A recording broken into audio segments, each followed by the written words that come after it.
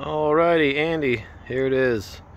2018 2600 RB. So this guy's got two 20 pound tanks, electric front jack.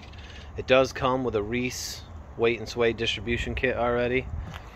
So right up the front, you got a really big pass-through storage.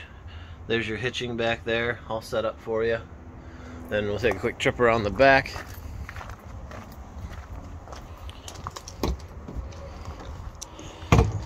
Here's your water station, your battery disconnect, all that fun stuff. Here's your rear slide out. We'll pop on inside. So as you see, you've got the upgraded solid steps with the low grab handle.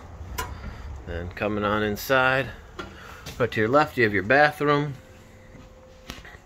Good amount of storage, a porcelain toilet, a good sized shower with a skylight in it, and a vent fan in your bathroom.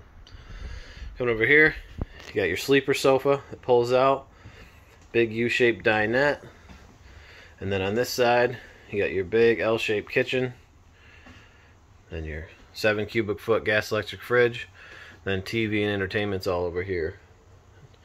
Going back to the bedroom, you got the his and hers closet, full length queen size bed, and then a TV already mounted in the bedroom for you, and then another vent in here. Pretty simple camper, pretty nice. And this one has yeah, this one has the, uh, the neat little Grand Design dog dish too.